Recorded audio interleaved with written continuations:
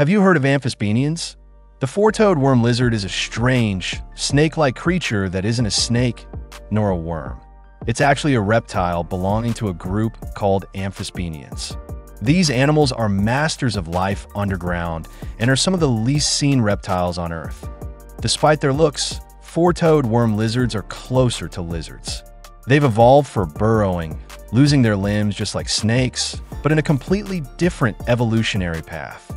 The name comes from the tiny vestigial claws some species have near their head, used for digging. They don't have fully formed legs, but these little tools help them navigate soil. Their bodies are segmented and ringed like an earthworm, which helps them accordion through sand and loose soil.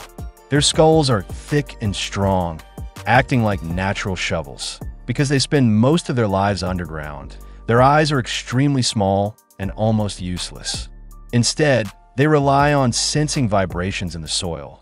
They feed on insects, larvae, termites, ants, and small invertebrates. Perfectly suited for their underground lifestyle, four-toed worm lizards live in parts of Africa, especially in dry and sandy environments where digging is easy.